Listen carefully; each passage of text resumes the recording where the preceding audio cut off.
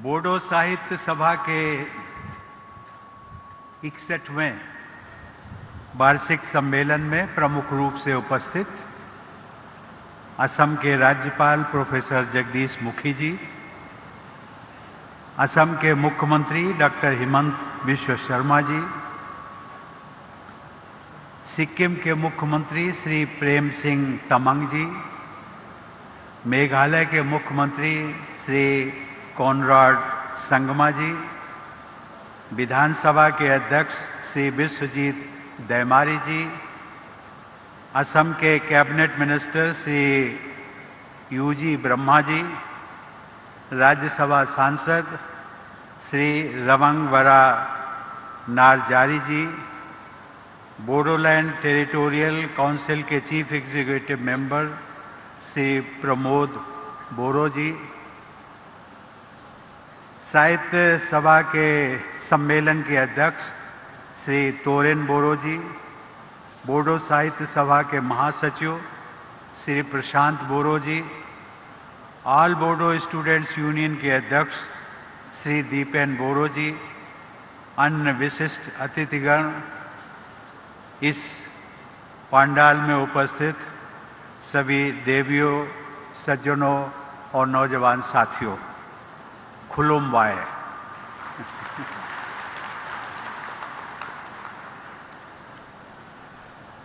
बोडो भाषा साहित्य तथा संस्कृति के गौरव को बढ़ाने के लिए मैं आप सबकी सराहना करना चाहता हूँ। मुझे इस समारोह में शामिल होकर के बहुत प्रसन्नता हो रही है। इस सम्मेलन के सभी आयोजकों को मैं हार्दिक बधाई देता हूँ।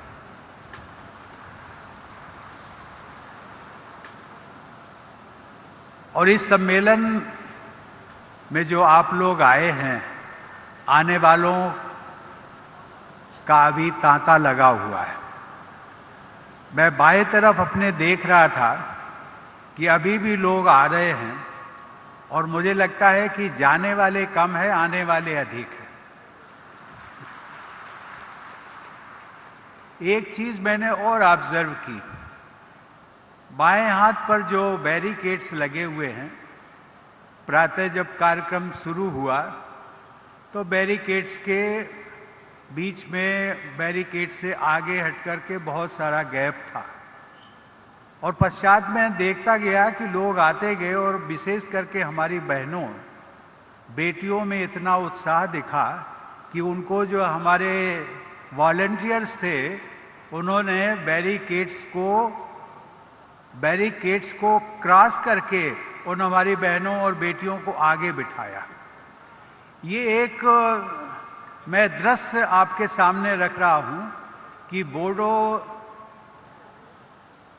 भाषा साहित्य सम्मेलन जो आयोजन हो रहा है, उस आयोजन के प्रति लोगों में आकर्षण कितना है। देवी और सज्जनों मुझे बताया गया है कि असम में लगभग 35 लाख लोग बोडो भाषा बोलते हैं। असम के अलावा बोडो भाषा बोलने वाले लोग पश्चिम बंगाल, मेघालय, अरुणाचल प्रदेश, सिक्किम, नागालैंड और त्रिपुरा और यहाँ तक कि बांग्लादेश और नेपाल में भी निवास करते हैं। अब ये साहित्य और भाषा हमेशा लोगों को जोड़ती है। लोगों के दिलों को जोड़ती है। और वो ऐसी कौन सी बातें हैं भाषा में होती हैं जो अपनापन होता है और वो अपनापन आज न जाने हमारे समकक्ष जो प्रदेश जिनका मैंने नाम लिया, पश्चिम बंगाल, मेघालय, अरुणाचल, सिक्किम, नागालैंड, त्रिपुरा और विदेशों से, बांग्लादेश और नेपाल से भी यहाँ पर कुछ प्रतिनिधिगण आए हैं। ये कितना आकर्षण है, जो कि भाषा, बोडो भाषा विदेशों से भी लोग को लोगों को यहाँ पर खींच लाई है। और इसलिए मैं साहित्य सभा के आयोजनों को मैं बार बार सराहना करता हूँ और उनको बधाई देता हूँ।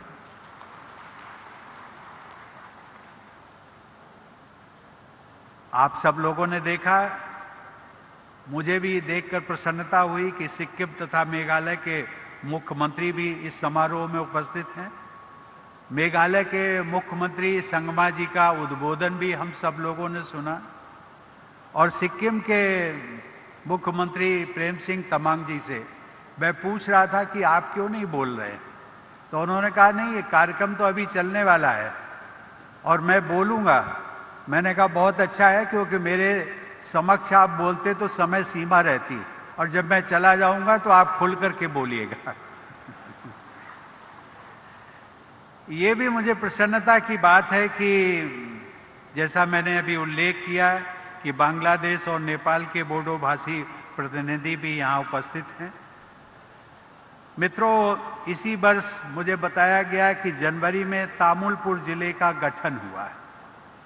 मैं तामिलपुर ज़िले के उज्जवल भविष्य के लिए मैं यहाँ पर उपस्थित इस ज़िले के सभी निवासियों को अपनी हार्दिक शुभकामनाएँ देता हूँ। केंद्र सरकार और पूर्वोत्तर के राज्यों की सरकारों के मिले जुले प्रयासों से इस क्षेत्र में सौहार्द और शांति का वातावरण और भी मज़बूत होता जा रहा है। इस परिवर्तन के लिए मैं केंद्र सरकार राज्य सरकार तथा बोडो क्षेत्र के सभी भाई, भाइयों और बहनों को बधाई देता हूँ। इस बदलाव में विकास कार्यों की महत्वपूर्ण भूमिका है। मुझे बताया गया है कि इस क्षेत्र में एक सेंट्रल इंस्टीट्यूट ऑफ़ टेक्नोलॉजी भी स्थापित है, जिसे विश्वविद्यालय का दर्जा प्राप्त है।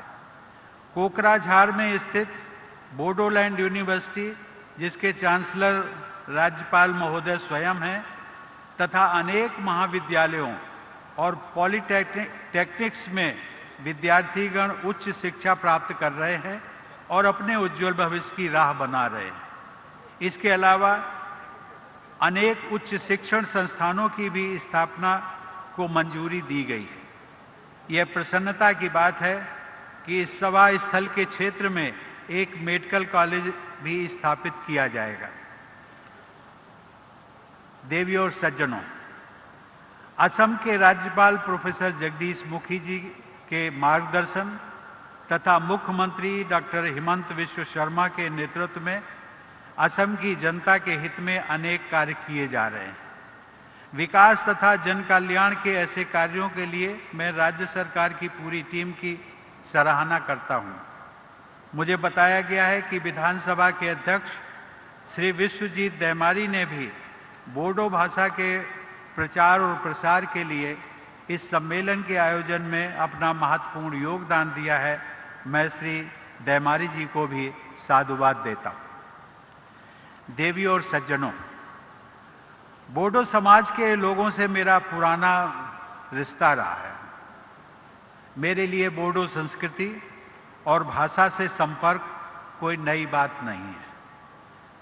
मुझे याद है कि जब मैं राज्यसभा सांसद था, तब इस क्षेत्र के कई जनप्रतिनिधियों के साथ मेरा मिलना जुलना होता था।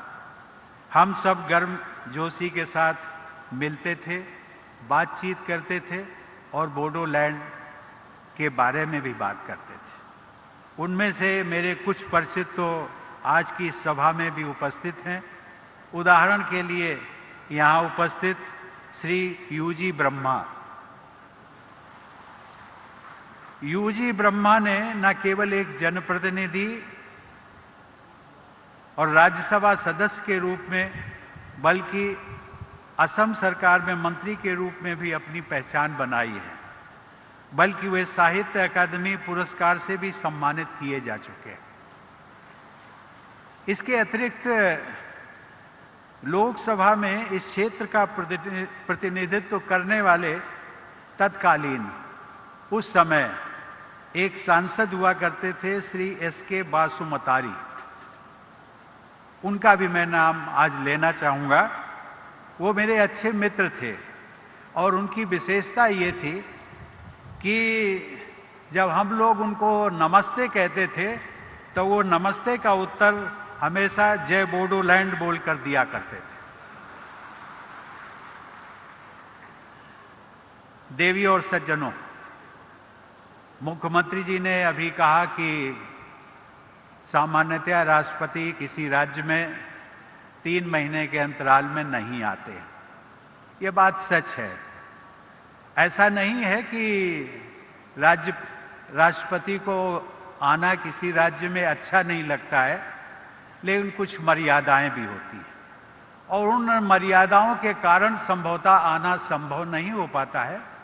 लेकिन मैं मुख्यमंत्री जी आपका, असम के लोगों का, उनमें बोडो लैंड के भी टेरिटोरियल काउंसिल के लोगों का, जो मुझे प्यार और सम्मान बीच बीच में मिलता रहता है, वो मुझे बार बार खींच भी लाता है। और इसीलिए मैं तीन महीने के अंतराल में दोबारा फिर आ गया।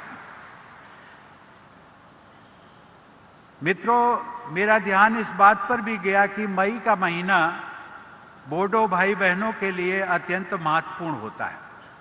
हर साल एक मई को आप सब बोडोफा उपेंद्र नाथ ब्रह्मा जी की पुण्यतिथि मनाते हैं, जो आज से तीन दिन पहले ही थी।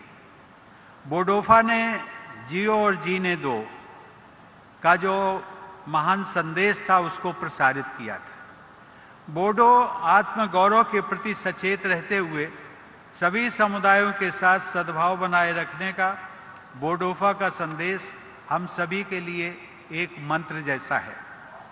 मैं उनके संदेश को उन्हीं के शब्दों में ठीक ठाक तो कह, नहीं कह सकता, लेकिन उनके संदेश को बोडो भाषा में दोहराने का प्रयास ज़रूर करूँगा। उन्होंने कहा था, थांग, आरो थाना नहीं थानो हा। देवी और सज्जनों, शिक्षा के माध्यम के रूप में बोडो भाषा को मान्यता देने का उत्सव वर्ष उन्नीस से प्रतिवर्ष 18 मई को मनाया जाता है। आज से लगभग 15 दिन बाद आप सब वह उत्सव भी मनाएँगे। उस महत्वपूर्ण उत्सव की मैं आप सबको अग्रिम बधाई भी देता हूँ। देवियों और सज्जनों, बोडो भाषा साहित्य तथा संस्कृति के उत्थान हेतु लगभग सत्तर वर्षों से अमूल्य योगदान देने के लिए बोडो साहित्य सभा का प्रयास उल्लेखनीय है। सभा के संस्थापक अध्यक्ष, स्वर्गीय जायभद्र हागजेर तथा महासचिव सोनाराम थाव सेन ने बोडो भाषा के महत्व और मान्यता में वृद्धि करने के लिए सराहनीय प्रयास किए थे। स्कूली शिक्षा के माध्यम के रूप में बोडो भाषा के प्रयोग को स्वीकृति दिलाने तथा उच्च शिक्षा में बोडो भाषा को स्थान दिलाने जैसे प्रयासों में बोडो साहित्य सभा ने अग्रणी भूमिका निभाई आप लोगों के प्रयास के फलस्वरूप बोडो भाषा को असम राज्य की एसोसिएट ऑफिशियल लैंग्वेज का दर्जा भी प्राप्त हुआ है। बोडो भाषा और साहित्य को आगे बढ़ाने वाले महानुभावों का इतिहास बहुत प्रेरणादायक है। बीसवीं सदी के आरंभ में बोडो पुनर्जागरण के जनक गुरुदेव श्री कालीचरण ब्रह्मा ने समाज में व्याप्त कुरीतियों को दूर करने के प्रयासों के साथ साथ आधुनिक शिक्षा व सांस्कृतिक चेतना का भी प्रसार किया था। श्री रूपनाथ ब्रह्मा ने बोडो पुनर्जागरण की धारा को आगे बढ़ाते हुए बोडो भाषा और साहित्य को समृद्ध किया। बोडो भाषा और साहित्य के विकास में बीबर नामक पत्रिका का भी बहुत महत्वपूर्ण योगदान माना जाता है, जिसका प्रकाशन आज से लगभग 100 वर्ष पहले सन 1924 में शुरू हुआ था। उसके संपादक श्री सतीश चंद्र बासुमतारी ने उस पत्रिका के माध्यम से बोडो समाज, भाषा और साहित्य में एक नई जागृति उत्पन्न की थी। देवियों और सज्जनों, श्री मदाराम ब्रह्मा ने बोडो नाटक और कविता के साथ साथ शिक्षा और समाज सुधार के क्षेत्र में अपनी छाप छोड़ी थी। पद्मश्री का सम्मान प्राप्त करने वाले बोडो समुदाय के प्रथम व्यक्ति के रूप में उनका विशेष स्थान है। साहित्य अकादमी पुरस्कार से सम्मानित श्री ब्रजेंद्र कुमार ब्रह्मा बोडो साहित्य सभा के अध्यक्ष भी रहे।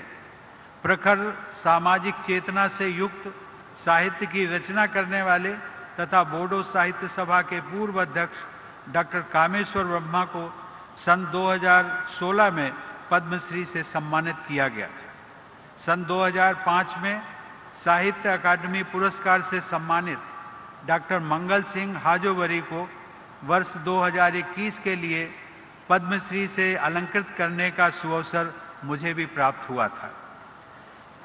इस संदर्भ में मैं ये भी कहना चाहूँगा कि मंगल सिंह हाजोवरी और नीलकमल ब्रह्मा जैसे अनेक बोडो रचनाकारों ने पर्यावरण को बचाने की चिंता से प्रेरित रचनाएँ की हैं।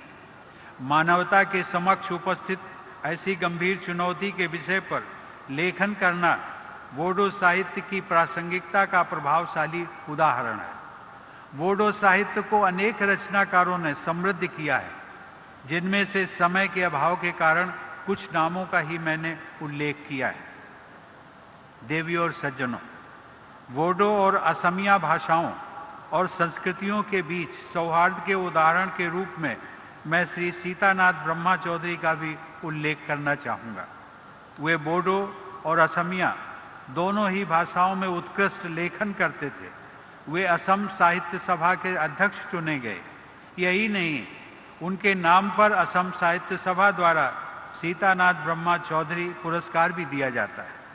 वोडो अस्मिता तथा अन्य समुदायों के साथ सौहार्दपूर्ण, सही अस्तित्व का आदर्श सीतानाथ ब्रह्मा चौधरी के जीवन और कृतियों में भी देखा जा सकता है।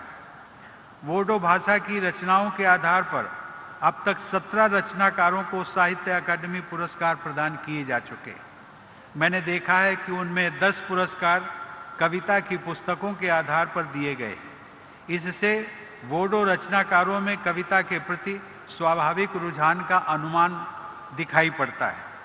मुझे ये जानकर प्रसन्नता हुई कि अनेक महिलाएँ वोडो साहित्य की विभिन्न विधाओं में साहित्य का सृजन कर रही हैं। लेकिन यह भी देखने में आया है कि मौलिक रचनाओं के लिए साहित्य अकादमी पुरस्कार प्राप्त करने वाले वरिष्ठ रचनाकारों में केवल दो महिलाओं का ही नाम है। मैं चाहता हूँ कि महिला रचनाकारों को राष्ट्रीय स्तर पर और अधिक मान्यता प्राप्त हो। मैं चाहूँगा कि बोडो साहित्य सभा द्वारा महिला रचनाकारों को प्रोत्साहित करने के लिए विशेष प्रयास किए जाए।